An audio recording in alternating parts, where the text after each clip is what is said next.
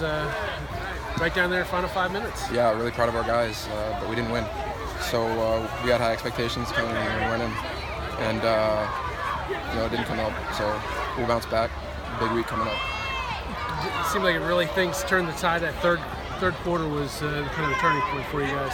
Yeah, we gave up that uh, big kick return and uh, kind of killed our momentum a little bit. We just had a long drive, but it's part of the game. It's being adverse and everything like that. So us being able to come back and still score and put us, ourselves in a position to win the game was really big.